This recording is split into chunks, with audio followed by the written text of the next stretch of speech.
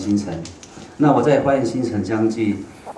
有一段时间，我看到的问题哦有两个。第一个问题，都市里面的这些社区养狗养猫，一些这这这些动物，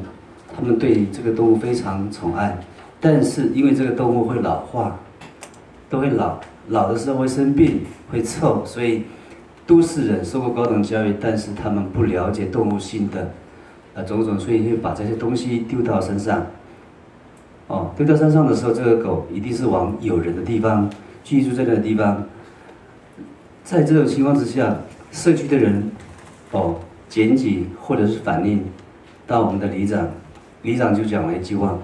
不准把这些狗交给公部门，因为它的下场是把它砍死、毒死、安乐死。也就因为这样子，社区又有很多一些，呃，养狗、养狗、养猫的人起来说不准做这些事情，所以呢，整个社区不是狗大便就是大便，然后演变成狗会去咬这个猫，然后剩下的问题就是变成一个这个社区本来三十年前是一个很有呃气质的，很蛮有一个。嗯，品质非常丰富的一个社区，但是因为这种这种问题，就变成棘手，里长跟公部门都不敢来，一来的时候都被轰炸，所以这个社区就变成乱。第二个问题，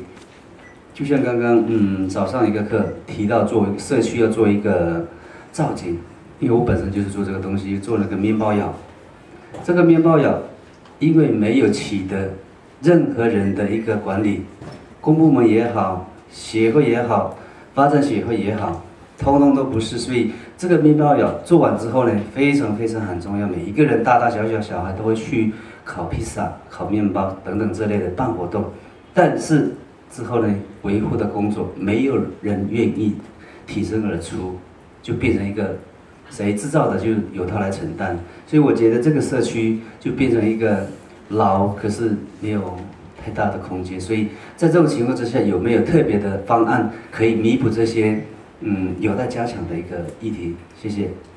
好，我们谢谢从花园新城，也是从重建区过来的林大哥哈，提出两个议题哈，一个是从面包窑它的管理，或者叫做我们社区里面的公共设施的管理，各位认为可不可以变成是我们来讨论的一个议题？好，另外林大哥也提到。就是社区里面的流浪狗，或是社区的野狗，哈，也等于就是它的管理，哈，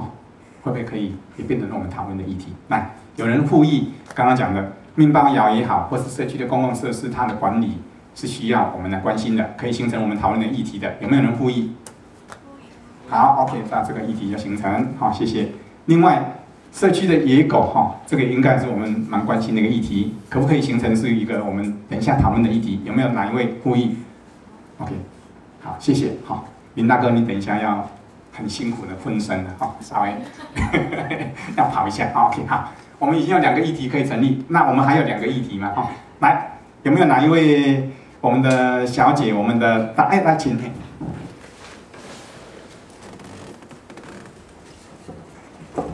那个今天早上有那个有一个老师在讲说，那个就是那个学校的那个庭园变成开放式的空间了，就是把那个围墙拆掉。那说现在市政府好像好像已经在改改善了，可是就我最近从很多学校附近过去看，我是觉得它的围墙只是只是变成你看得到里面外里面看得到外面而已，并没有就是并没有说可以让。外面的人可以直接走进去。我的意思是说，他如果是要开放的话，好像不是这个样子。就是说，你把它拆掉，然后换一个比较矮的、比较透明的，啊，这个就是我觉得这个这个蛮蛮奇怪的。那我是觉得这个，那这可不可以算是浪费公帑？这个我觉得这个好像很多学校经常在把围墙拆掉，那下个校长要把围墙盖起来，下个校长再要把围墙拆掉，好像有点这样的味道。好谢谢我们大哥哈，刚刚提出哈，校园的开放是只是把围墙变矮或者是绿化，让我们的景观可以穿透，这样子就够了呢？还是真的要达到它的一个公共使用的一个可能性？或者是说，我们以站在家长站在民众的立场，期待校园的开放应该要到哪个程度嘛？哈，应该大哥您的意思这样子哈，所以我大概就把它简化哈，变成校校园开放的议题，可不可以形成我们等一下讨论的另外一个议题？有没有哪一位要呼吁了？OK，好，哦，我们这个议题也成立了，有三个了，好好，来。最后一个议题，有没有哪一位？哎，来，谢谢小蜜。我想，我我替刚才那位洪洪先生，他现在没有在现场嘛，对不对？来，